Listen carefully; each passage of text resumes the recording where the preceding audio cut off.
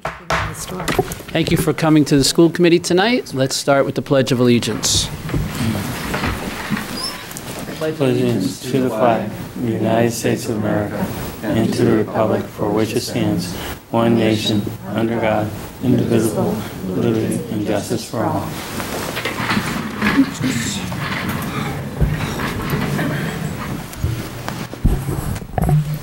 Very good. Okay, so to get started, anybody want to address the school committee tonight under public comment? No? Okay. Seeing none, we'll move on then to uh, our readout from the schools. We only have one tonight? You have the spotlight then. There you go. Thank you. All right, so on Thursday, January 26th at Plymouth South, there was a tech expo, and this included programs from both North and South. Seventh and eighth graders were able to attend from both PSMS and PCIS in order to learn about the variety of programs offered at both schools. And then later that night, we had our introduction to high school for eighth graders and their parents.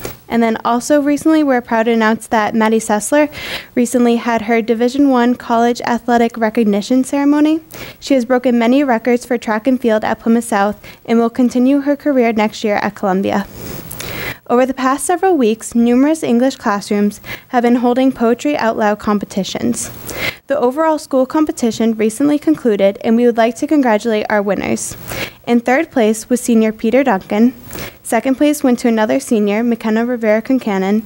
And the overall winner, moving on to the regional competition, was freshman Melina Manick. Congratulations to all involved. The district-wide high school science fair will be conducted tomorrow at Plymouth South High School. Many students have been working very hard on their projects all year and are excited to showcase their work. Also tomorrow is the annual Advanced Placement Breakfast. The ceremony will begin at 8 a.m. and students, please remember to wear your AP t-shirts. Once again, the Plymouth Public School community is teaming up with the South Shore Community Action Council in this year's third annual Empty Bowls project to help fight against hunger in our community. Join us on February 9th from 5 to 7 in our free ceramic workshops. Come make a bowl or plate. Your creations help to raise much needed funds to replenish the local food pantries in the area. The annual Skills USA District Dinner will take place on Monday, February 13th at 6 p.m. Congratulations to all qualified students. And lastly, the PSHS and PNHS AP Info Night will be held on Thursday, February 16th from 6 to 8 p.m. at PNHS. If any students are interested in taking an AP course for the 2017 to 2018 academic year, you're encouraged to come. Very good, thank you, Brianna. Um, Old business, I don't, I think the only thing, most of our stuff are long-term, going to be kept open, uh, but the uh, last item, we can now close the retreat, um, since we had the retreat this past weekend. Unless anybody has any other updates or anything, I don't think there's anything that we were waiting, any kind of current update. So that would be old business. Does anybody have any new business they'd like to add? No new business. Then uh, reports and proposals from Dr. Maestas. Yes, uh, good evening, everyone. I have a few items to report on uh, tonight. Um, Just want to give you an update on Manomet Elementary. I know uh, earlier this year, we had some, uh, some damage from a fire suppression sprinkler that um, displaced some classrooms that, that took uh, some time to get complete. It- it- Things are, are done and and things are back to normal, so I just want to reach out to uh, Principal Frayne and the Manomet staff and the school community at large for all of their support to, to get this complete. But it was, it was really handled without a hitch and a, a great deal of effort from everyone. The kids just responded wonderfully to, to all the adjustments that were made. Um, I was notified today at my meeting at Town Hall with department heads that on February 15th, I will be presenting to the Finance Committee the information regarding the fields. So I'll be presenting the- a similar presentation that I um, um, provided to the Board of Selectmen uh, on on the 15th. That'll be at 7 PM. And um, shortly after that, we will um, schedule um, a meeting to once again, present information to the Board of Selectmen with final numbers for the project. We're anticipating that that, that meeting will be March uh, 6th, which is a Tuesday, okay? Typical Board of Selectmen meeting night. So that's tentative. We'll see how things go. We met with uh, uh, Town Manager uh, Arrighi this morning, and and we were able to, uh, to walk through uh, some dates. So um, you can pencil um, the March 6th date in. The 15th is a definite, all right? And um, the next Voyager magazine will be out in the next couple weeks, so we'll we'll get you to have that uh, as soon as it comes out, and we'll email, email a link to you. And um, just want to reiterate the uh, science fair tomorrow. I know some of you may be judging, so that's an important day for our uh, science department and for our students. They look forward to your participation and uh, your judging of their projects. To Tomorrow would be a a really important day for everybody. So that's all I have for uh, tonight, Mr. Begley, back to you. Very good, thank you. How many people are going to judge? Anybody going to judge tomorrow? I know Can't. Mrs. No, Burgess. last Ms. Burgess, I think. Well, actually, I've had a a dramatic change in my schedule tomorrow, so I'm now available to judge if they need a judge. Okay, I will pass that on. I think they will take care. Okay, thank you. Okay. Definitely want you. Uh, Dr. Sorensen, you want me to send you an email in the morning? Would you please? Just to let you know if, uh, okay, information? Please, Okay. thank you very much. No problem. Now, tonight, we have quite a few retirements. Yes, we do. Mrs. Fry. Um, We have five retirements tonight. Um, Karen Baker, a moderate special needs teacher from Plymouth South High School. Um, Sylvia Bunnell, an elementary teacher from South Elementary School. Joanne Denatolis, a nurse educator from South Middle School. Mary Humbert, math teacher and department head from Plymouth North High School. And Kenneth Pereira, technical studies um, electrical teacher and department head from Plymouth South High School. A lot of years. Ms. Badger? On behalf of the Plymouth School Committee, I'd like to thank these individuals for their combined 137 years of service to the district and wish them a happy retirement. We haven't had one of those in a little bit, Oh, I know. that kind of number. It's a massive number tonight. Yeah, quite a few. Yeah. Taking a big hit. Yeah. Mm-hmm. Now, before we go to correspondence, if we don't mind, I see Isabel's joined us for North. You want to? Uh, so we recently began our cap and gown sales. They will run through February 1st uh, to February 17th, and orders are placed in Miss Allen's room before or after school for $25, uh, made out to the PNHS SAF. And then we had our first annual Poetry Out Loud competition, which was very successful. It was on a Wednesday, February 1st, and we had many finalists uh, of all grades, but then our winner was Ariana Bremas, who is a junior. So she'll be going to regionals on, in Cape Cod, so we'd like to wish Ariana luck. And then our uh, girls and boys winter track team was named the Patriot League champions recently. And then our math team also finished their season with a uh, meet win. Uh, it was uh, placing them first in their division, and they've been undefeated for two straight years. So we'd like to congratulate them for all of their hard work and dedication. And our science fair will be tomorrow, February 7th, at Plymouth South High School. And registration begins at 3, and it's open to the public from 7 to 7.30. And then winners will continue on to the regional science fair at Bridgewater. And then we have our first after first ever Fashion is Forever fashion show, which is at Plymouth North High School on February uh, 9th at 7, and tickets are $5 at all lunches and $8 at the door, and is run by uh, DECA students. So we're excited to have that. And then uh, winter break begins on Monday, February 20th, and then students return on Monday, February 27th. Um, we had a boys track sprint medley relay uh, winner of Ray De Silva, Josh Pastana, Ben Andrade, and Nick McKenna, Mick, Nick McNamee, uh, and they qualified for nationals this March. And then we have 22 students traveling to Costa Rica for nine days during February break for a service learning trip. Very good. Thank you. I like your shirt. Thanks. Federal Furnace, we have our school improvement plan tonight from Federal Fu- Furnace. Dr. Maestas, would you like to tee that up? Yes, uh, tonight we have Federal Furnace Elementary School, and Principal Camaro is here with her uh, school council to uh, provide information regarding their updated school improvement plan. So welcome to school committee.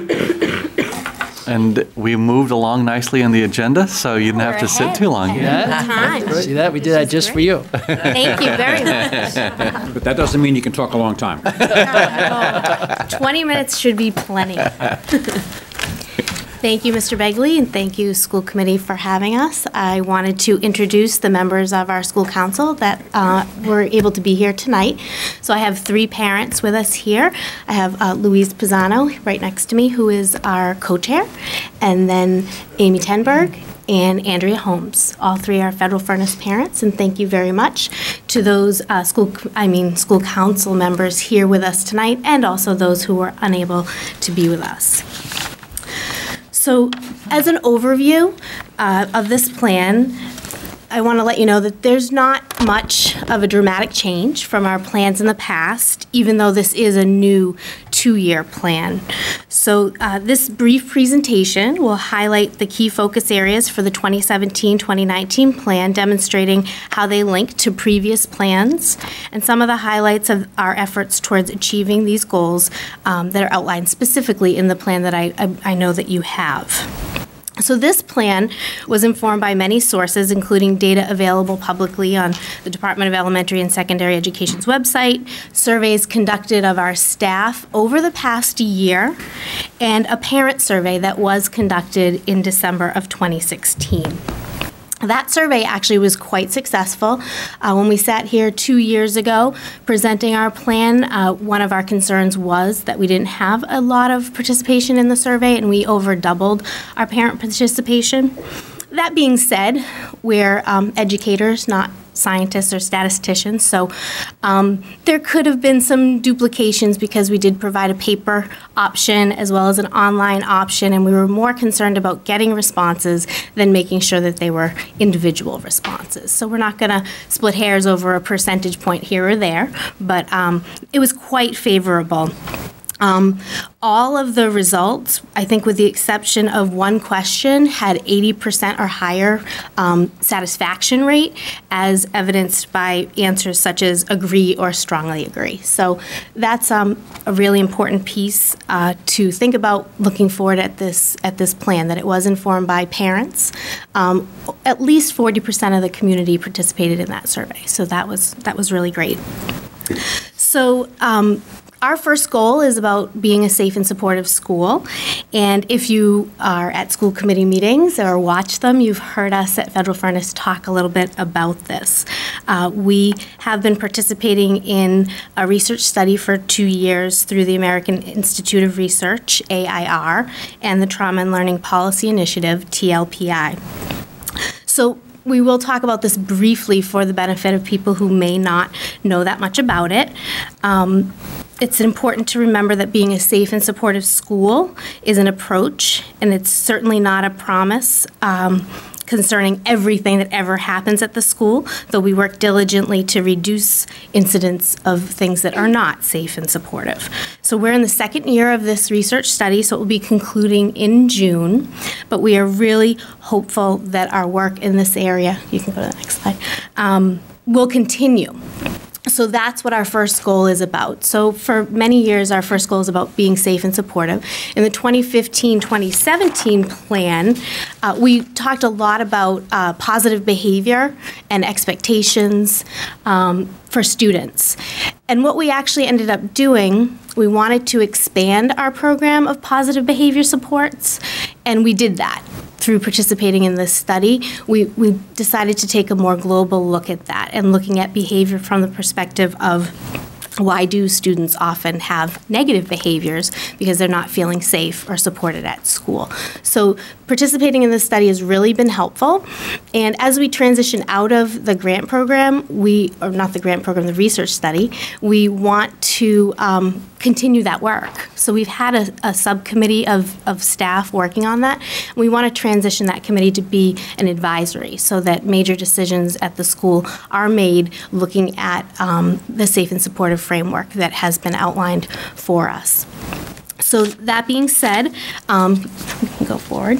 Thank you very much. Um, some of the things that we've done already and that we want to improve are looking at um, not only our classroom times, that's been done in the past. Um, the first year of the plan, the team really worked on opportunities for students to be better regulated in classrooms and places for students to go when they aren't regulated and are experiencing some behavioral difficulties.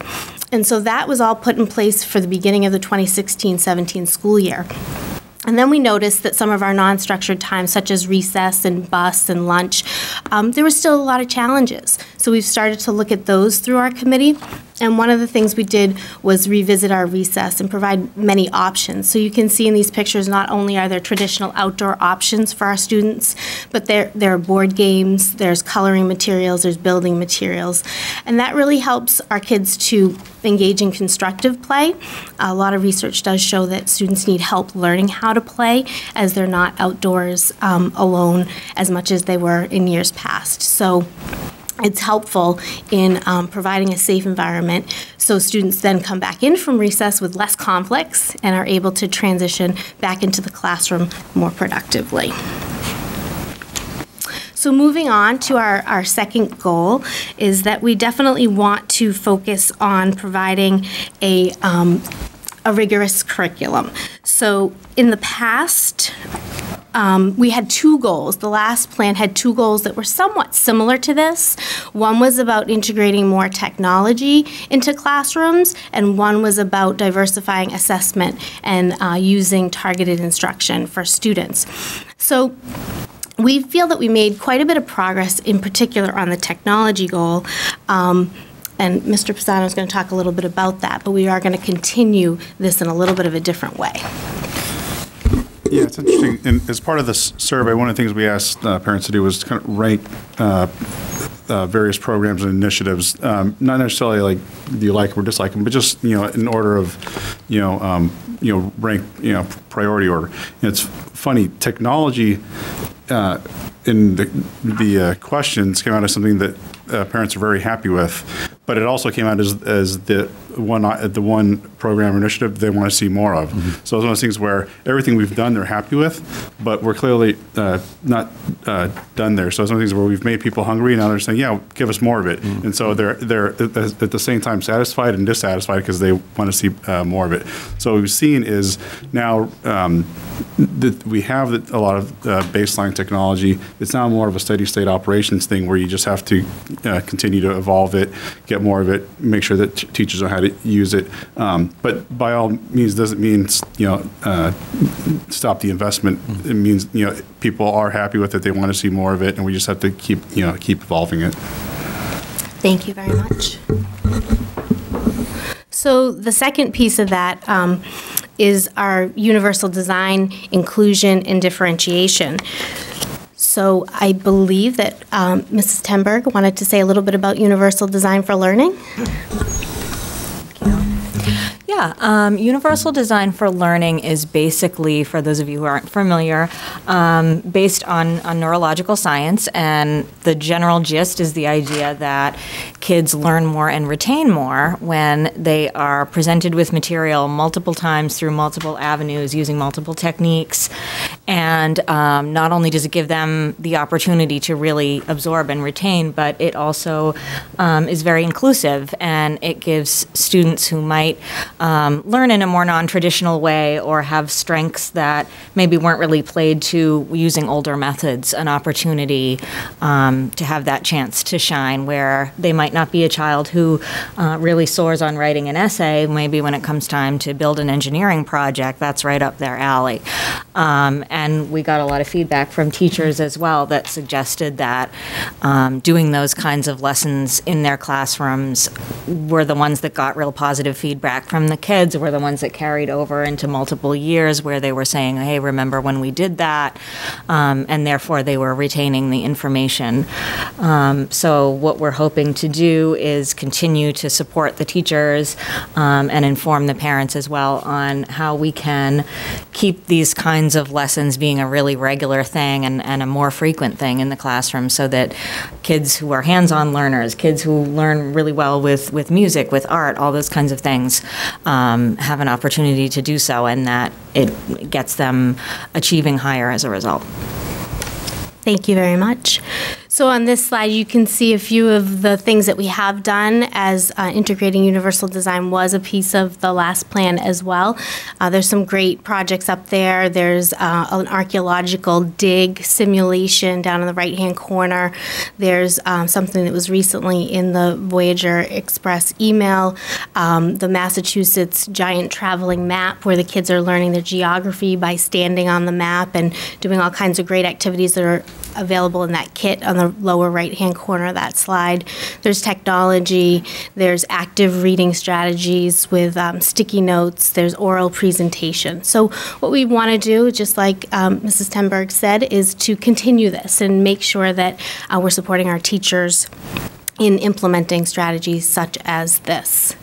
Great transition into our next goal because it really is about supporting staff, encouraging innovation, and also um, collaboration. Because being a teacher in the 21st century is not an easy thing. Trying to provide a safe and supportive environment, rigorous curriculum, everything is changing. Uh, one of the only things that is constant is change. So, um, using a lot of these strategies on the right hand side peer observation, uh, collaboration, uh, committees, and highlighting our teachers' success, developing experts are some of the things that we want to do through this plan. So, one of the things that we've already started uh, was to develop some really diverse uh, committees in the building of staff.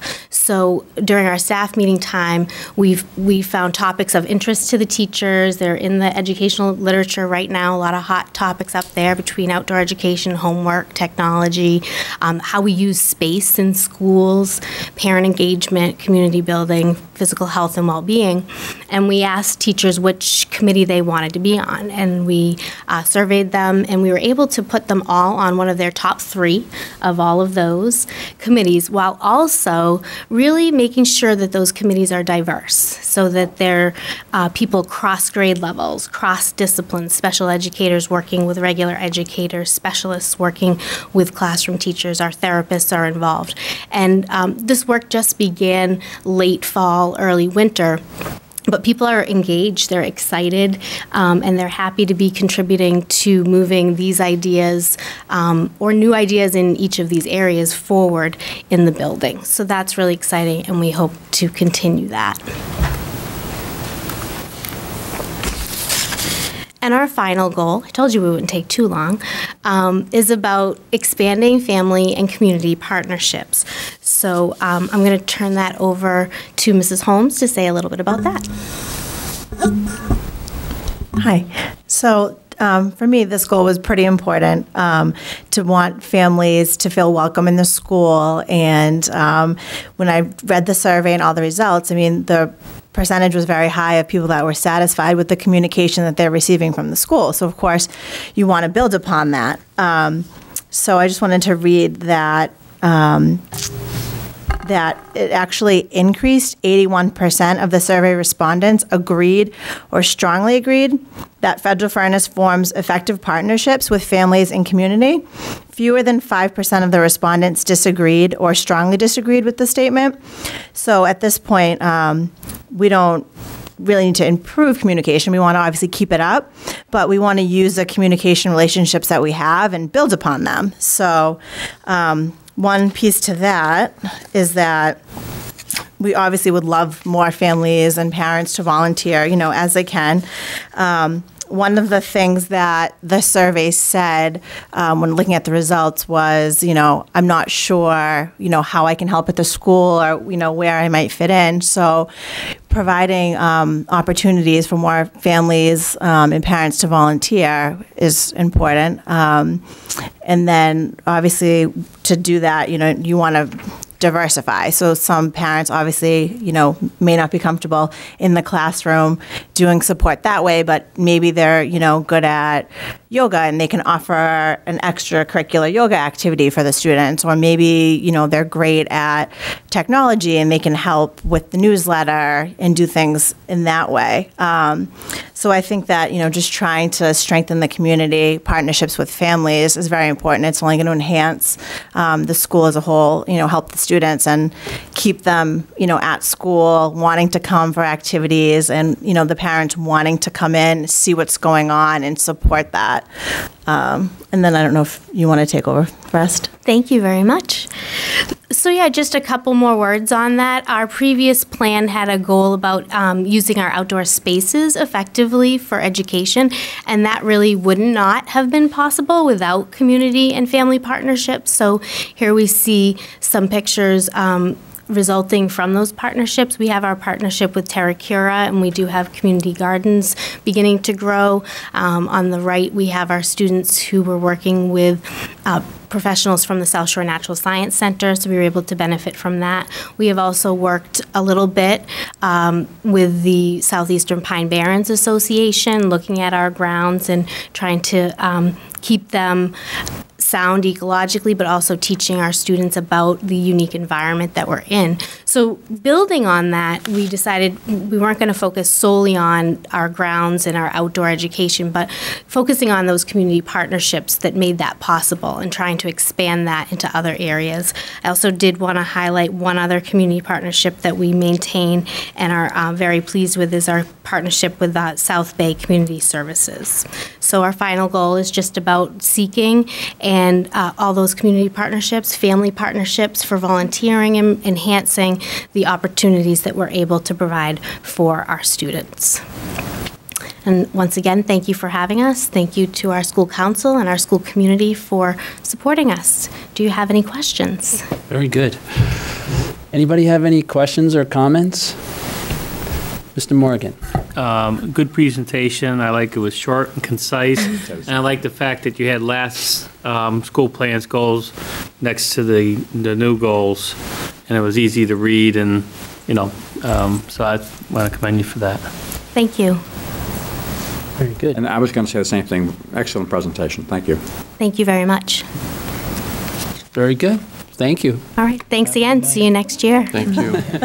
Bye. Bye.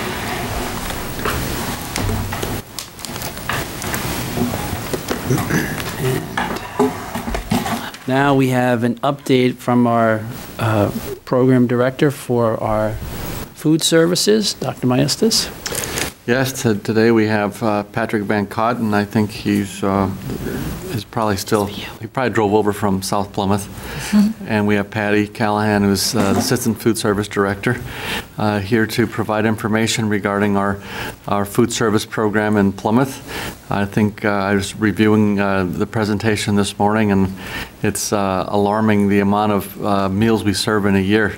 Uh, When you serve it one day at a time or one meal at a time, it- it- when you look at it holistically, I think it's, it's pretty significant. So with that said, Mr. Begley, I'll turn it over to uh, Mr. Van Cott. Great, thank you very much, and thank you for having us this evening. Um, my- I'm Patrick Van Cott, Food Service Director, and this is Patty Callahan, Assistant Food Service Director. Um, Whenever I stutter, can't finish a sentence, Patty's there to finish it for me, so. um, We, um, on our update, we have 12 schools still. Uh, We feed 7,501 plus students breakfast and lunch in our meal periods. Our free and reduced lunch percentage is at 32.68, and it's fluctuating daily. Um, We get approximately six, seven, or eight uh, applications with multiple members on each application um, every day. Uh, That's, we serve in the area of 653,000 lunches and 180,000 breakfasts per year. We currently have 68 total employees, one secretary, bookkeeper, two van drivers, four managers, eight team leaders, 51 cafeteria workers, and ourselves. And I have to say thank you very much to the, the time and effort and dedication that all our workers do have. Every time I go into a school, they're doing something different, they're doing something creative, um, and they all do work very, very hard. And they, they know all the kids by their first names. It's, it's amazing to sit and watch the, uh, the dedication that they do have. Um, we're not just a simplistic uh, breakfast and lunch uh, food service. We do a lot of uh, different programs. One is, uh, especially here at PCIS, we never really close down. They make it we make it very difficult to, to get a good cleaning during the uh, summer months uh, because we have a summer food service that serves meals out of here, and we serve lunch to four different sites. Uh, that's uh, 18,192 meals this past summer, and that's up from 13,000 last year. And what we did was we didn't just serve lunch. We started serving breakfast, snack periods. Um, we said, well, we're there anyways, let's start doing them. And, and there was a, a, big need for that at the different locations. Uh, one of the locations is Camp Clark, uh, Boys and Girls Club uh, here at PCIS, and Hedge Elementary School is an open site where anyone can show up and get a free meal during the uh, summer months. Uh, we also completed our first full year under contract with um, Council on Aging, uh, doing five days a week, year round, uh, the congregate meal. Um, and that's averaging about 40, 45 meals per day. Uh, we also do the uh, alternative learning program at North High School, uh, Pilgrim Academy. Uh, we do all the food service at Memorial Hall. We're constantly catering all different events all over the place, and we do PEC, the Plymouth Early Childhood Center. Our lunch choices are continually moving and uh, grooving with the times, so we at least try grooving. trying anyways, uh, to stay current. Uh, in our elementary schools, we have uh, hot meal, assorted sandwiches and soups. Secondary um, schools were a, a, lot more diverse. We have uh, the bistro, salad, sandwiches, pre-made, and to go. Our most popular is the grab and goes because the kids don't have to wait in line to, to have them all made for them. Um, and then we do the World's Fair, which is like the uh, menu that you see in the newspaper for the hot meal of the day. And then uh, the grill, where we get to experiment with different uh, items uh, burgers, chicken sandwiches, hot dogs. We do meatloaf or pulled pork and things like that, a lot of home cooked meals. Uh, new this year, uh, we brokered a contract with uh, Papa Gino's And it was amazing to see the millions of dollars that they spent in marketing and we get to use that from just the popularity brand and how many more meals that we did serve, we are serving currently to the kids. It's died down a little bit with the secondary levels because they always want change, but the elementary school kids really, really love it. Um, new this year as well, we're in the process right now of working with um, Plymouth North High School DECA project, and I told them I was going to say their names here. Uh, Taylor Shaughnessy and Jocelyn Bailey um, came up with an idea to do an a- allergy-free offerings line, and they want it to be district-wide as well, at least on the secondary levels. Um, and they came up with a really cute logo, um, and it's beehive-free. So, a little bee in there. Um, and they've done a lot of research, and we're going to do a lot of taste testing. And uh, they've uh, they just sent it to us this morning. I didn't even get a chance to really peruse it, but they were very, very intricate in all the items that they have uh, picked out. So I'm going to have to do some real, real uh, buying this week to, to get them some uh, good items to taste. Um, and we're also doing a tomato sauce project that we'll report on in the um, future, um, but it has to do with the gardens to school, and we're going to make enough sauce to uh, feed the kids for a long time with uh, homegrown stuff here. I don't want to spoil the whole surprise on that because it'll probably be a presentation of the future.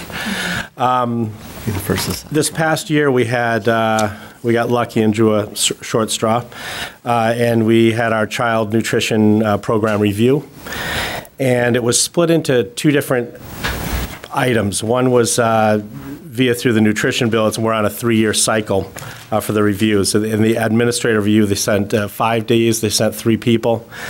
Um, I uploaded 25 documents and over 200 pages of worksheets and policies uh, for them to look at before they even walked on site. Um, and we did very, very well uh, in, in that part of it. Uh, the resource management comprehensive review was three days on site, and they're looking at all the financials. And in their corrective action plan for us, they found out that our we were charging too little uh, for the students. And what it is, it's paid lunch equity, where you have to do a weighted average in your free meals, your reduced meals, and they, and they weigh it out, and it has to eat, come close to what you're char, getting charged for a uh, free meal or reimbursement, which is $3.22. Um, So we have to go up in price uh, this next year. It's a, it's a mandate for us. Um, They said that our revenues uh, on the non-program foods were very, very diverse and working well. Um, Our labor percentage and our insurance uh, was very, very high. Our student trends, so it's not all doom and gloom, um, are starting to come back up again. Uh, We we mentioned last year and the year prior too that we were kind of on a roller coaster and we were kept waiting for that part that you hit bottom, and it seemed like last year was the uh, was the year, uh, fiscal year 15 and 16. Uh, so at 16, we were serving about 3,400 meals, uh, 3,492 um, per day, and this year to date, this past month, we just served uh, 3,628 meals. So things are back on the rise again, be it that the kids are you know, liking what we're serving, number one, or they're getting used to the regulations, I think is more like it. Um, Does so- that include breakfast, that number? No, that does not. Um, That's down at the bottom here, that we do a report on that. Our à la carte sales are back up too because we, um, are- they have a lot more A-list items that are available. Uh, They actually have ice cream that's available now. It's on the, yes, it's this big, but it's at least something. Um, It's still ice cream. One table. Technically, I believe. I haven't read the package closely. Um, The breakfast participation, as Dr. Sorensen was saying, has gone up 100 meals per day. Uh, Plus, we are currently serving over a 1,000 breakfasts per day, um, which is remarkable. A lot of the kids uh, will use this as their, sometimes their meal period. They'll eat breakfast and they'll be fine throughout the day, and then they'll eat like an early or a late lunch when they get home, something along that lines. Um, But it- we're, re- I'm remarkable that it's gone up about 100, 150 every single year, and it's become such a popular me- uh, mealtime. Do- Can I just ask a question on that, just for clarity? So I- I- I've heard comments on the community about the school departments now offering breakfast to kids. Right. They, the kids pay for that, it's, it's, it's a mandate, and, and, and it seems to be a benefit, not only to um, us as an educational institution that we know kids are getting something to eat, but it's also, the parents have some level of comfort that they can get something to eat at school, correct? Absolutely. A, a lot of the, and I, I hear this every time I talk to anyone in the nursing departments, that a lot of the visits that they have there, they're referring them back to us to give them breakfast. A lot of it is, my stomach is killing me, it hurts me, and you're hungry. And that's the bottom line. And once you feed feed the children, then uh, they're they're more alert, they're happier, the whole bit, um, and, and they stop with the excuses, et cetera, and get back to class and uh, start learning again. Um, but it was I, it, when I came here. I think we served breakfast at one school, if I'm not mistaken, Hedge, and uh, the the need was there or not explored to be there. Oh, Cold Spring as well, that's correct. Um, and we immediately started at all the schools, and it started really, really slow. Um, but it started, you know, gaining some ground, and our break-even point for labor and serving the breakfast was like about 40 per per school. And now some of the elementary schools, it's absolutely amazing to walk into, and, and you see it's it's how they start their day. It's it's something popular and good that these kids do. Some of them all sit in their little groups of friends and things like that. So it's really neat to see how they do it. Um, but yes, it's become a, it is a necessary thing. Uh, where a lot of the schools are schools of need because a certain percentage of your free and reduced uh, lunch, but it's a very very important part of the day as well. And So a free- a free student eats a free breakfast also. Yeah. thank you for saying that too. Thank you. Um, expenses, uh, food is risen a little bit uh, to about 1.1 million. Um, healthy ingredients cost more. That's just the bottom line. We have embraced that. Uh, labor has gone up a little bit uh, to 1.13 million uh, with the yearly cost of living increases. And the big, one of the big things that was pointed out to us in our uh, financial review was our health insurance. Um, and, and, uh, you know, the elephant in the room, it, it just sits out there. Um, and we're fortunate enough right now, especially this year, to have the resurgence of the popularity of lunch again because we're coming very, very close to breaking even so far this year, knock on wood, you know, barring any disasters. Um, But, you know, fiscal year 16 was just $358,000, 17 is going to be $385,000, and then 18 is going to be 412,000. Um, We need to sell 149,818 meals at $2.75 just to pay for the health insurance alone. That doesn't count food cost, labor, anything else uh, included in there. That's equivalent of 41 operating days. So the first two months of operation that we have in September and October are all to pay for the health insurance, basically. It's a a daunting task to stare at that every single year. So we, we look at it in small increments monthly is how we do it. Um, More expenses. Um, Our other expenses total approximately $150,000, and it's fuel, meals tax, uniforms, vehicle repairs, software for our POS system, license renewals, equipment repairs, equipment replacement, office supplies, and printing costs. We had uh, complete uh, freezer compression failure over at uh, South Middle School this year. We had to uh, replace the boiler at South High School went but we don't care because, because the, the school is going to be torn down. So it made it a lot further than I thought it was going to make. I kept looking at it and then Yeah. closing the door on it. uh, I would close it too. I- I- yeah. The door shut. So it's shut look down. very good. Um, but uh, thank you to uh, Culinary uh, it is allowing us to use uh, one of their uh, kettles to help us out when we need to uh, make our mass quantities of food that we do. Um, and also South Middle School is helping out too as well. Um, they've got a lot of equipment over there. Uh, then office supplies and printing costs. Uh, along with the aging buildings comes aging equipment. So uh, it's just a thing that we've come to accept, and uh, I budget for it every single year. And I hope I was under five minutes. That was, that was very good. Anybody have any questions or comments? Mr. Morgan? Um, Could I have a report? I know last year you came before us, and I believe we implemented a policy for restriction of peanut butter. So I'm wondering how that's went over and how that's going?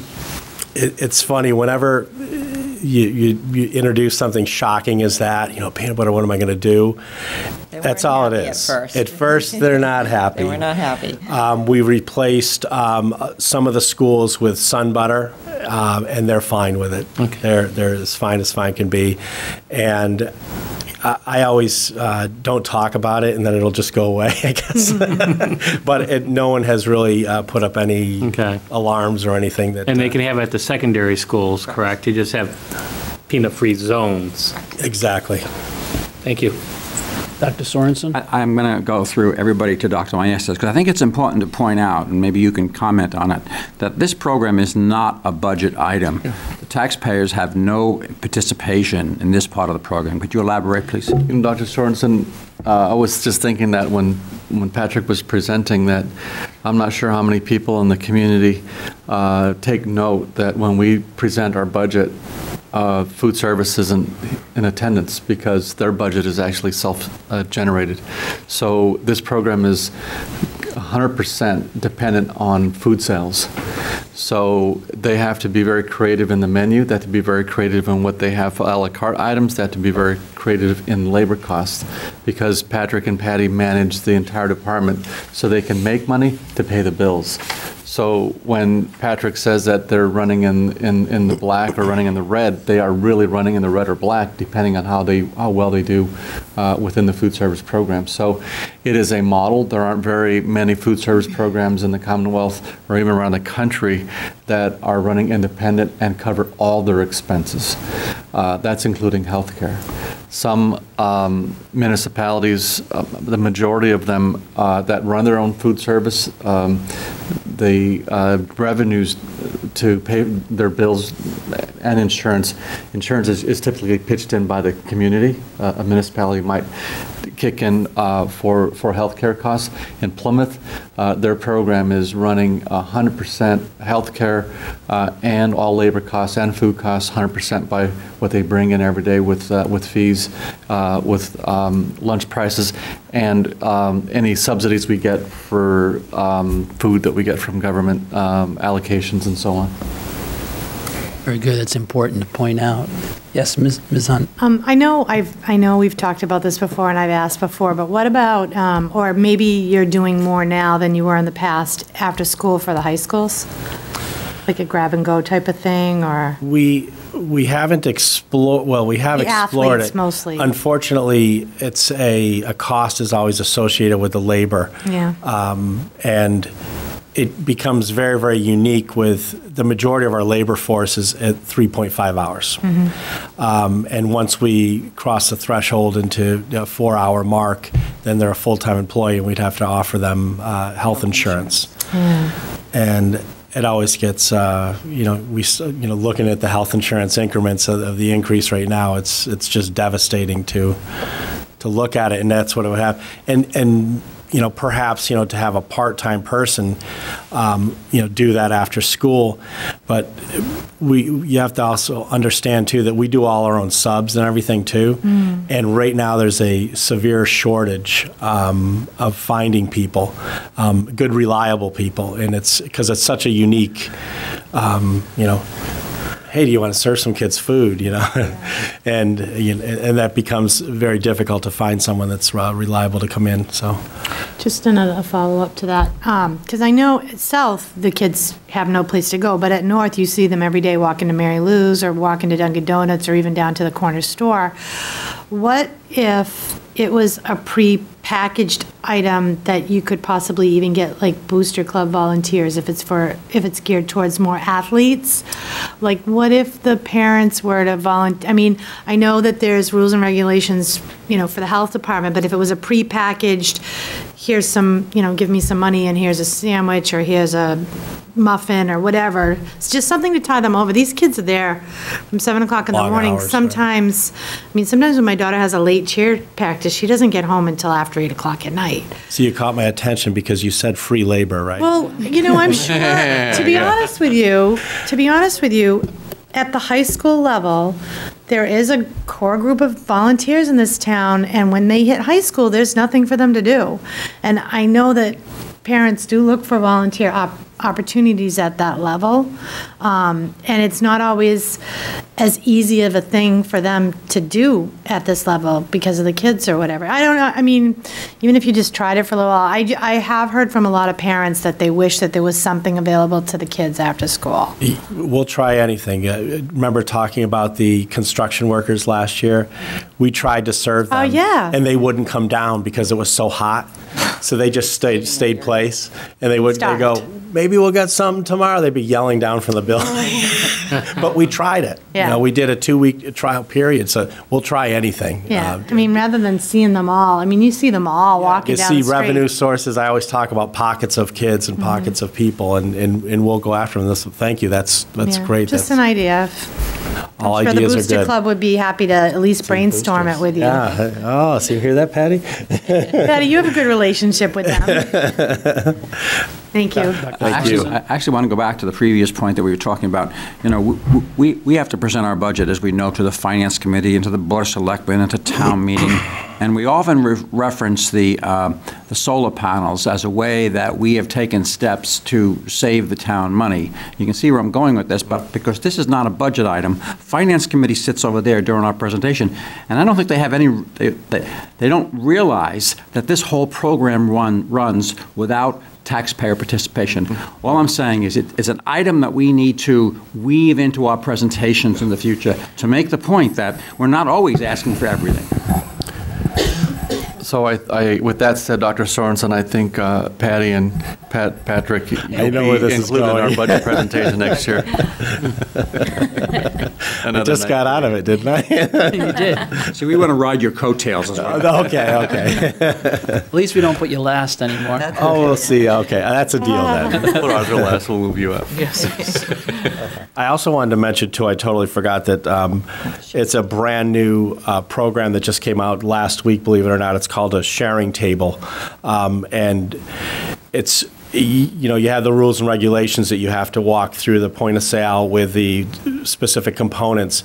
But if you have something that's pre-packaged or that of is, fruit piece of fruit or something that is already packaged and safe, you can take that item, even a milk if you wanted to, and put it on a table, a sharing table in the particular school. And then other children can come if they're still hungry and use that Good idea. the items. I like that idea. So it's got to be approved uh, through the, the Board of Health, and I just, I'm going to write them a letter, and that's how you get approved. And we do That's it a at Camp change. Clock in the summertime. How does it go over? Great. Fantastic. Is that a change that the state would allow you to do? Because I know before they wouldn't even let us. Just re- they wouldn't like last consider- week, if I'm not mistaken, yeah. They would not even let us take a fruit and, that's, that's. They're really that's- loosening up, I'll tell That's, you. that's movement. I think It really is. maybe they're hearing that the trash cans are getting Exactly. full. Very heavy, yes, exactly. That's good. One question I had for you was on the meals tax. Uh, I'm surprised, can you just explain that that, it- how that's applicable to uh, municipal sites? The meals tax is um, the percentage of money of any adult meal that gets paid. Um, We pay the meals tax on that, and we do a check through the town, and we pay directly to the state. And it's, it's For not all for adult the, meals that are bought, like Adult teacher meals, meals. so it's the any teacher. meal. Just the adults, right. it's interesting, though, that it's uh, taxing ourselves uh, on that one. Thank you. Uh, As always, a very good presentation. Now, you don't go anywhere because you're the next item, too. That's right. And the next item is about the uh, school lunch program prices. Would you like me to elaborate on it? Yeah. Uh, The uh, mandate, it's called a paid lunch equity, and um, as a result of our corrective action plan from the state, um, what what they did is on the on the cycle reviews, this, they started, or this was the second year of their reviews, and we were at the end of that cycle. So they had done probably 200 out of the 300 uh, schools in Massachusetts. And what they were finding is a lot of uh, programs, including ourselves, were funding, a lot, a large portion of the funding was coming from the free and reduced reimbursement. Uh, Our district is approximately $1.1 million out of our uh, $2.8 million budget. So the paid part of that was not keeping up with the near three dollars and twenty-two cents of the, the free part of that meal. And what they recommended is that we go up, um, you have to go up in increments, or you can just jump and go up the, the quarter, which I would prefer to do, um, rather than going up in nickels and dimes throughout the, uh, you know, progression of the years. And that will take care of us for three years, at least. So I- Very good. I'd like to recommend that we go up um, from 275 uh, to $3 on the secondary levels and $2.50 up to $2.75 on the elementary school level. Ms. Badger? I know you explained to us on Saturday a little bit about area costs. Can you elaborate for those who might be watching about like this isn't that much? You know, we're not the most expensive school uh, lunch that you can. Not by, by a stretch. Um, What it does is, they're trying to make everybody equal, um, on an equal playing field, and a lot of uh, different communities charge a lot more for the meals um, uh, in, in more affluent, and then other communities, like in Boston, um, Worcester, et cetera, have a very, very high percentage, and they rely typically on 85% of their uh, costs are, are, are reimbursements. Um, and it's important that they find some sort of an equity between all the different thing, and it, all the surrounding towns are being mandated as well as they get to them and start saying, no, you need to come up to this amount, you need to come up to this amount, and that amount, is what I recommended. So we're, we are within reason of everybody else all around us, all the surrounding communities. Dr. Sorensen? Uh, In my business, we, we, um, for our patients, we, have- we get money from Medicare, and Medicare has very, very clear, structured rules that if we don't, if we don't follow those rules exactly as Medicare wants us to follow them, we can lose Medicare payments for our patients. So does that apply here from free and reduced lunch if we don't Yes, follow what they're saying? Yes, it does. Okay. Absolutely. When was the last time that we had an increase? Three years ago. Exactly three years Years ago, ago. yeah. So Ed, if we don't, if we don't do this increase, those funds are at risk. Absolutely. Uh, I'll move the recommendation of administration that we in- increase our prices as cited up there on the board. And do I have a second? Ms. Hunt seconds it. Any further discussion? Then please vote on the electronic school board.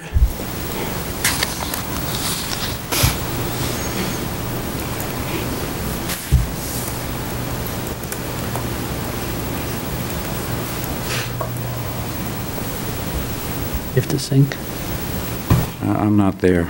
Um, Sorry, I was busy. Okay, You were listening. You're going to have to mark me as ye- a yes, please. I. So then we're un- unanimous Okay, on this one. got it, Miss. Must be this seat. When you sit in this seat, you have That's the jinx. Little This is Patty listening should today. She's gonna be very happy. too. She don't want to swap with you next week. Next week. Okay, and, uh, moving on. And continue to try. I want to move forward. I I have to, re- I have to log back in. That's, Okay, so, All right, there we go. we're moving forward. Thank you very much. Thank you very much for having us. Did the Patriots play last night? No, I I keep hearing things. Go catch up on news. Thank you. Thank you. Bye. Now we have the new school year calendar for 2017, 2018. Gosh, It's already, next Who year. would like to take that? Dr. Campbell's will uh, run through it. Dr. Campbell. Thank you, Mr. Begley. Um, Tonight, we have proposed calendar for the 2017-2018 school year. It's hard to believe. Um, We've looked at this um, over the last number of weeks at central office and with our principals, coordinators, and directors, and have some proposed dates for you this evening for your consideration. Uh, We're proposing to start grades 1 to 12 on August uh, Wednesday, August 30th, and pre- preschool and kindergarten students starting the following day on the 31st. Um, We then are proposing to have that four-day weekend, which we've done for the last number of years here in Plymouth, having the Labor Day weekend begin on that Friday, and having, obviously having uh, September 4th, which would be Labor Day, off, giving this- the the parents and and everyone the four-day weekend. That's been, um, anecdotally, we've had some, uh, a lot of support for that. Uh, First professional development in-service day would be Wednesday, September 20th, proposing a half-day for that. Um, As you know, we have a full-day professional development day in the contract now. This past year, it was on the National Election Day. We do not have one of those this coming school year. But we've thought about that long and hard and really wanted to try to tie that day with an existing long weekend to make it, what we feel will be less of a burden for families. So if they already have, a- if they already know that they're having a long weekend, why don't we tie it to an existing weekend rather than have another random day at another point in the year? So we're proposing to have the full-day professional development day, which would be a non-school day, on Friday, October 6th. Uh, Columbus Day is the 9th. Um, So um, just to point out some days, you can see the half-day professional development day on Wednesday, October 18th. We also have one on November 15th. There is no school um, Friday, November 10th, as it would be um, Veterans Day observed. We're also proposing a Thanksgiving recess and holiday on November 22nd, 23rd, and 24th. Um, We have had school in the past for a half-day on that Wednesday, but we find that that becomes um, a very um, well-traveled day, let's put it that way, for families. So it is probably the, the uh, largest travel day of the year, in fact, the, the Wednesday before Thanksgiving. So rather than have an abbreviated s- school day, we propose, we're proposing to have the day off and just extend the year out in another day and, and make that day up on a- another day. So it would be a, essentially have a, a, a three-day uh, holiday there for Thanksgiving. In December, we have parent conferences, um, K to 8, uh, which is contractual, um, both Wednesday, the 6th and 13th, having the holiday recess begin on a half-day, Friday, December 22nd, students returning on the 2nd after having um, Monday, January 1st off. Martin Luther King Day is the 15th. Our January in-service day would be Wednesday, the 24th. And then as we reach February, it would be uh, Wednesday, the 14th. We then, our, our February recess break, winter recess break would be Monday, the 19th through Friday, the 23rd. Um, March, Wednesday, March 7th, our professional development release day for all grades. Um, The parent conferences, again, K to 8 in March on Wednesday, the 21st, and Good Friday would be recognized, um, no school, Friday, the 30th of March. It's early this year, next year. Um, In April, the Professional Development Day would be Wednesday, April 11th, with the spring recess beginning on April 16th and concluding on the 20th. May is a relatively light month in terms of days recognized. We have a, a release day proposed for professional development on Wednesday, the 16th, and Memorial Day on the 28th. Um, graduation happens to fall on the same date. It would be Saturday, June 2nd, 2018, which is the same, I believe, as this year, June 2nd. And the last day, with all this taken into consideration, um, pending any snow days, of course, would be Thursday, June 14th. Very good. A- Any questions? Just, just, just a comment. Uh, Dr. Historically, uh, if you go back to the uh, 70s and 80s and early 90s, um, the day before Thanksgiving was a day off. And then somewhere in the middle of 1990s, the school committee, with the recommendation of the administration, made it a half-day. Okay. And so now we're, you're recommending that we go back to the day off, which I don't have a problem with. But the reason you're giving it, giving us is because, this is almost like, because students don't come because they travel, therefore we'll give them, the we'll make it a day off? Is that what you're saying? And I'm thinking they're traveling because they say, oh, it's just a half day, we can miss a half day. If it were a whole day, I wonder if, if we would have such an attendance problem. Still Hmm. counts as a day, doesn't? That, that's an interesting uh, question. I get notices when we uh, are over 10% uh, over in attendance. And pretty much every school on that day is at that threshold, so um, uh, it's, it's hard to say if they would stay. I mean, if they're I- traveling to, I certainly would take your recommendation, but it seems to me that, so now what happens if they decide Tuesday what they want to travel? We're going to make that a half-day? When does this stop, you know? Right, right. when I taught, I taught high school, and I, um, the school that I taught at uh, had a full day. And I remember I would drive to Virginia every, for 13 years in a row. I, we drove to Virginia. That's our closest family. And I would, one year to um, Stafford County, Virginia, took me 16 hours. It's normally an eight-hour drive. But that day to drive, the later you go, and I think parents, they judge that. Um, if you're driving for family, it's, it's, it's, it's a tough, it's a tough day. But hey, that's, it is what it is. It's a good thing about living in Plymouth. That's a good point. You have them come to you. From Virginia. Um, That's right. What are the other school districts around us doing? Um, A lot of the school districts around us are take the day off. Yeah. Well, I'm not crazy about it, but I'll certainly go along with everybody's thinking.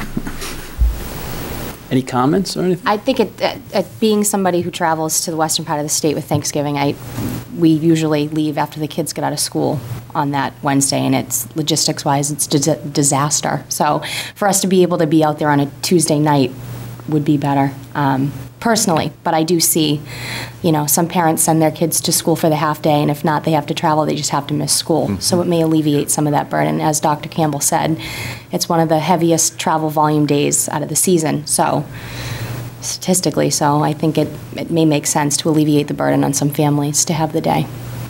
Just as sort of a, uh, maybe a tongue-in-cheek, is now all these moms and dads who are preparing Thanksgiving dinner all day on Wednesday are going to have all the kids home. These parents might not want the kids home in the morning. I am less cook for me, so. Sorry. I'm taking you to school to play. I apologize Go to play those at families. school. Good news, Go to the news. playground at school, I need some time.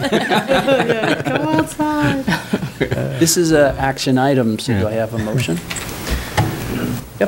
I move that we approve the calendar for uh, 2017, 2018 school year. second. Ms. Badger moved it, Ms. Ms. Trisselli uh, seconds it. Any further discussion? All those in favor? Back to electronic school board. It is so much easier to just ask it about what Can your we back vote up is. to the previous vote if you want me to vote, or is that impossible? Uh, We already, were on moving on. Moved on. I mean, I can go and revote it if you, No, what do you it's all right, think? Not that important. We just note it. Yeah, okay. One manual. Moving forward, we'll be, we'll be all set. Yeah. Okay. Very good. Thank you. Unanimous. Thank you. And that brings us to uh, out-of-town or overnight field trip item. Dr. Maestas. Yes, tonight we have an out-of-country field trip, and uh, this is, um, this is the third year, I believe, that this is the trip. If you want to come on down, you can come on down. So Tara's here tonight, uh, Mike Bastoni is here as well. Good evening, everybody. Good evening. Thank you for having us. I promise I won't cry this time like last time. All right, so this is our third year. As Dr. Maestas just mes- mentioned, we had a fabulous turnout last year with 20 students um, visiting El Castillo in Dominican Republic and earning 20 hours of community service, having extraordinary bonds made with community members there. Mike and I are escorting 17 students in April to the same um, location, which we are extremely excited about. And I was actually really thinking that I might take a break next year, but I have had several students ask about the trip. So I decided to get an early jump on it and say, okay, if I, there's an interest, then I should probably move forward for next year and continue this extraordinary relationship that we've started down there. So we are here. Nothing's really changed. The price is, um, I think, $50 more, but relatively the same, $28.50. Um, same location. Um, same community service, same 20 hours of community service. So um, I don't really have anything to add because I think last time I spilled my guts on the table. so um, if you have questions, um, we're happy to answer them. But we're looking forward to this year and um, hopefully next year as well. Any questions? Comments? Very good. Then it's an action item. Ms. Badger? I move that we approve the field trip to Dominican Republic in April 2018. Do I have a second? A Second. Mr. Trisselli uh, seconds it. Any further question, discussion? Then please vote electronic school board. Very good. We're going to have some background music while it's thinking. I know, I know, right? The Jeopardy. Yeah. Definitely need that. Thank you very much. Sorry you had to wait so long Have for that. fun. We should have put you first. Sorry about that. Oh, no, that's fine. It was kind of interesting to see everything else, so. Thank you. Thank you. Have a good night.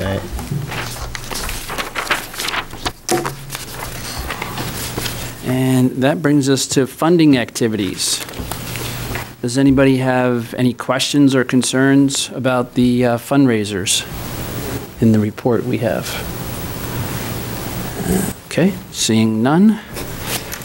Then we have reports and proposals from committee members, and I know we have. Oh, go ahead. No, no, go right ahead, That's Mr. because Morgan. mine's going to be well. Okay, my- mine will be short. Um, uh, last week I attended two shows at PC, at uh, Plymouth North High School for PCIS, Lion King Jr., and they did such an excellent job. The, the level of professionalism and talent and the costumes and everything is amazing. I went last year to Shrek Jr. Yeah. This year I had a hyena in the show from the family, so I went to both shows and said one. But they do such an excellent job, and uh, they to be commended with the effort and the uh, and the, sh- the, the show. They both nights sold out, so it was excellent. Very good. Very good. And uh, Ms. Hunt, I know you want to give us a readout of your attending the conference. Yep. Um, So I have two things. One, one quick thing I wanted to mention today. Um, And I think the last time I was here, I reported out on the activities of the Distinguished Visitors Committee and our trip to Japan um, that we're working on. I don't know if we have any updates as far as when the committee's meeting, but um, I did want to mention, and I forgot to mention it last time, that the DVC did um, vote on a, a policy, a part of the procedure. We're trying to steam, streamline this process so that every time a new person comes in and gets involved, we're not starting from square one. We're trying to make sure that we, you know, have almost like a procedure manual with interviews and all that. And one thing that's come up several years in a row now is whether or not people that aren't part of the official delegation can actually attend and travel with the group, even if they are paying their own way. And the st- distinguished visitors actually made a policy, and I, I thought I had the exact wording with me, but um, And it's, they, they voted to not allow that, while anyone can go to Shichigahama and anyone can contact them and travel on their own. If it's an official trip, we've, we feel strongly that if people come on their own with the group, it puts an unfair burden on our hosts, as well as some, um, conflict back home as far as, you know, who's in charge, who's in the delegation. They expect, you know, when they come here, they have a certain hierarchy and, you know, we kind of roll out the red carpet for them and they do the same thing for us. And if people are coming that aren't prepped and part of the delegation and, you know, know what we want to talk about when we're there, then it just disrupts things. So um, even if they pay for their own way, they can go, but they can't be an active participant in the participant in the activities, the housing situation, and the group tours. So I just wanted to mention that. Um, And then I wanted to report out on, so this week, um, last week, I um, got to attend the Advocacy Institute for the National School Boards Association, and I thank you very much for allowing me to attend that. Um, I, I really feel like I got an immense, uh, such a great amount of knowledge, and I, I really feel like it was a productive um, trip. I was the only Massachusetts school board member there that wasn't part of the state board. So that's good and bad. Um, the good thing is the state board actually kind of took me under their wing, and I got to uh, go on hill visits with them. I got to spend time with them and have meals with them. So it was really nice. I, so I, you know, I made some friends really quickly. Um, there were two activities while I was gone. I was gone for four days. Um, the first day, it was actually an equity symposium. It was a whole separate event, different attendees. Um, it was all about, um, how to make schools equitable. It talked a lot about poverty. Um, and I have some materials that I can share with everybody, and I'm going to send everybody links to the PowerPoints. Um, it was just really, it was really good. It was really good to hear from what other states, other communities, even talking with school uh, committee members from our state. We were pretty much spread out all over the place. There were several from um, Western Mass, several from the Boston area, Cape Cod, just hearing everybody's take on. Um, you know, what kind of pockets of poverty we have, what are school districts doing to recognize that, to try to make it more equitable. Um, Given everything that's going on in Washington right now, it was just a really interesting conversation. So that was the first day. The second day, it was the actual Advocacy Institute. So we basically spent two days hearing from, we heard probably from about a total of maybe six senators while we were there from both sides of the aisle. Um, Again, very interesting conversations. Um, We heard uh, a lot about the education, sec- uh, the nomination for the Secretary of Education, uh, both sides. Um, You know, we are with people from other states, so here, just hearing different opinions were, were really interesting. We had a keynote speaker who wrote, um, who, uh, Doris Kearns. what's her Goodwin. name? Goodwin. Um, And she writes a lot of historical books about presidents. Um, And she was great. We got a, a chance to hear her speak. Um, And then the last day, we actually went to Capitol Hill. We heard from a few more senators while we were there. We had like a a reception in the afternoon. But I actually um, partnered with a school board, he's actually the national, uh, Massachusetts School Board President, and he is from the Cape. So we went to uh, Congressman Keating's office to, together, talked a lot about Plymouth, talked a lot about the good stuff that we're doing here. Um, And then we also met with uh, Representative Lynch's office. So um, it was just very productive. I gave you all, I, I don't know if I had enough for everybody. I have the National School Boards Association policy agenda, um, which, just to give you a really quick, this is what they kind of prep us for and have us go in when we do meet with our, have our meetings. They kind of give us what to talk about. Um, And there's a couple of things. One is the child. Pat's gone, the Child Nutrition Act, that's in reauthorization right now. So they're working on that. One that I thought was really interesting to us, and it gave me an opportunity when we met with um, Congressman Keating, is the uh, CTE, the Carl Perkins Act. That seems to be in kind of a, a danger of having some funding cut, it- cut. It's in reauthorization. Um, It has a lot to do with college and career readiness and our technical programs. Um, Another one is um, federal education investments appropriations. And then the biggest topic of the, of the weekend was school choice and charter schools and school vouchers and hearing the different opinions on that. And then Massachusetts kind of has its own agenda that they go in and talk to, and I gave you guys a copy of that as well. So I don't know if anybody has any questions. I gave you the bird's eye view of it. Um, We pretty much worked from morning till night. Um, I, I actually jumped in a, a little protest while I was there too, so that was kind of fun. We actually, Lamar Alexander was one of our um, speakers, and the school um, teacher, the uh, teachers union was out front of our hotel um, objecting to uh, the nominee for the Secretary of Education. So that's pretty much it. I don't know if anybody has any questions, but Well, th- this is great. This sounds like, um, you know, this is a, was a conference that I'm glad. Yeah, it was definitely worth, I compare it to what I've done for other things, and I just, I- think maybe I'm crazy that I really like this advocacy stuff, but to me, it just seemed like everything that I did, you know, was worthwhile, and it was, you know, wheels to the ground, it was working, it was talking, seeing results. And you're building networks. And I recommend, I mean, next year I won't be eligible to go, but if somebody can go next year, I, I highly recommend it. They've been doing the Advocacy Institute for several years. This is only the second year of the Equity Symposium, but that was equally as good. And it's interesting, since you were the only non-MASC member Mhm.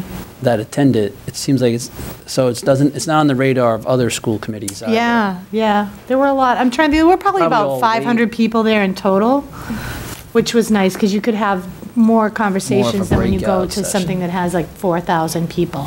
Right. But it was, it was definitely, um, I And probably recommend, most of you know, them I wait hope for the somebody's. national one, the big Yeah, one. Yeah. No, I, I mean, the national one's good too. I personally felt like I got more out of this one. Yeah, Um, it and was I, more focused, I it hope sounds somebody can go next year. Good. Very good.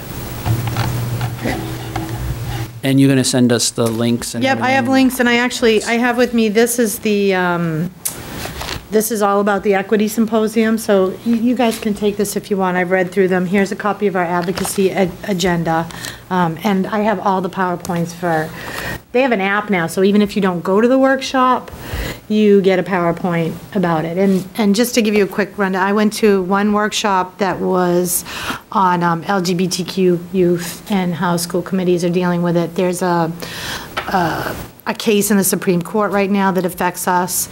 Um, I went to uh, a couple of budget Um, And that was just scary. Um, A Couple of budget workshops.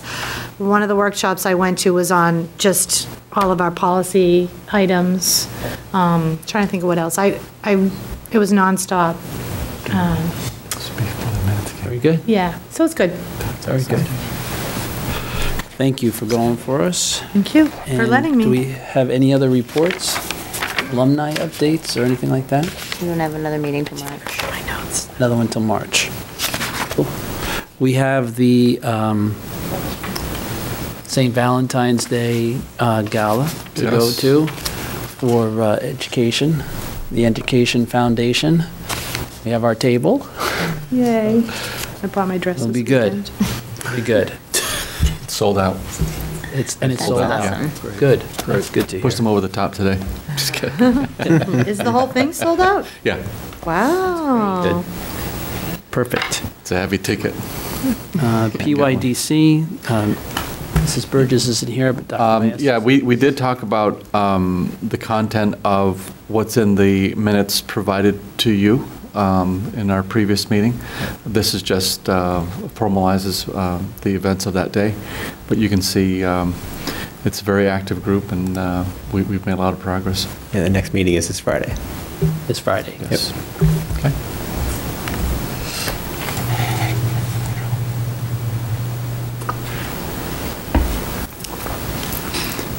Reports uh, from the building committee. No meeting. No meeting. Wow, we're moving along here. Mrs. Fry, any appointments, leaves of absence, resignations? Yes, um, we have eight um, coach and advisor appointments. We have two classified appointments, one short-term maternity leave, and one resignation. So, Good, thank you. And now the homeschooling plan approval. Yes, uh, Mr. Begley, I have one homeschool plan that has been re- reviewed by Dr. Halpin's office, and it does re- uh, meet the recommendations uh, that's set forth by school committee and by Dr. Halpin's office, and I recommend approval. We have a motion. Sure, move the recommendation of administration. Dr. Sorensen moves it. Do I have a second? Second. Mr. Morgan seconds it. Any further discussion? Then all those in favor, please turn to your electronic school board.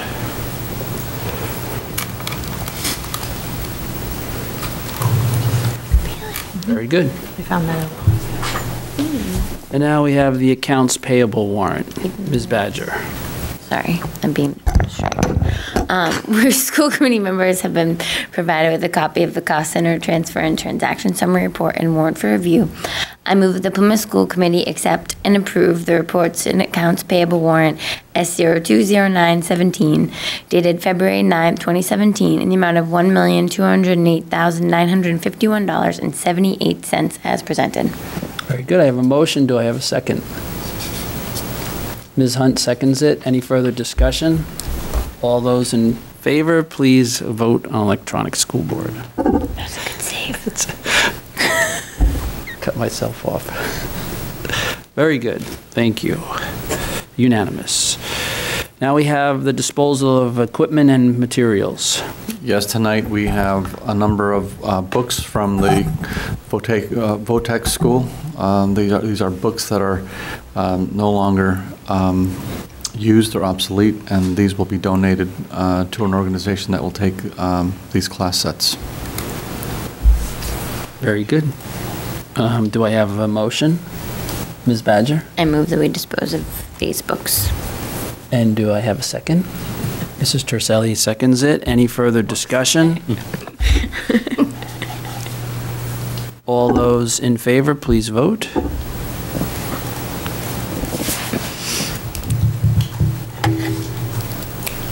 Well, it's kind of a silly expression. All those in favor, please vote. Could vote either way. Yeah, even if you're not in favor. please vote. I'll get the rhythm down yet on this thing. It's okay. And we have one more now. Yes, tonight we have one more um, disposable, disposal of books and instructional materials request, and this is uh, for Plymouth South High School. These are outdated tech books, um, and these uh, were approved for disposal on December 2016. They come to you tonight, and they will be do- donated to um, Big Hearted Books, which is another organization that does take um, that does take uh, books that we're looking at discarding. They recycle them and put them in different locations, but it's uh, a long list of, of uh, books. Very good. Do we have a motion? So move the recommendation. Moved by Dr. Sorensen. I need a second. Mr. Morgan seconds it. Any further discussion? Then please vote.